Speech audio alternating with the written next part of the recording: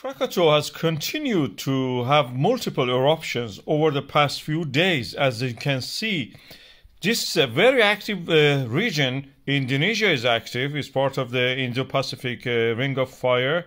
But this particular volcano is, has made a name for itself as one of the most dangerous volcanoes ever.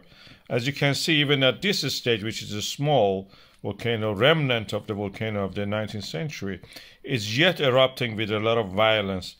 And if you listen to the next uh, clip, I will show you the sound it makes.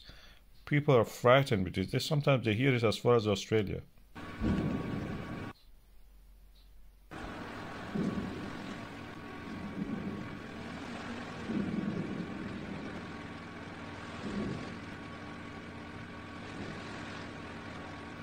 This is not a joking matter. You cannot, you know, you cannot just ignore this. It will not go away. It stays there and getting bigger.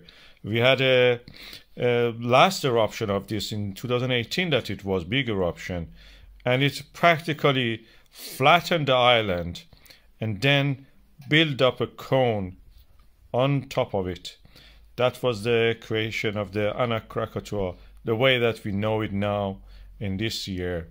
From the space, it looks like a, you know, like a zero between two brackets.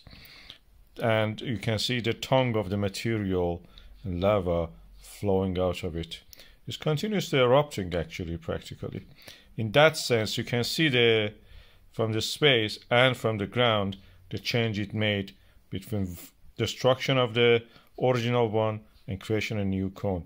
It creates tsunamis and the tsunamis can affect Java and the nearby, you know, areas in the Pacific Ocean, in the Indian Ocean, as far as Thailand and Australia. These waves don't uh, disappear. Pacific, Indo-Pacific Ring of Fire is the most active region on the planet Earth. It covers almost two-thirds of the planet Earth, and it cannot be ignored. You, it will affect your life.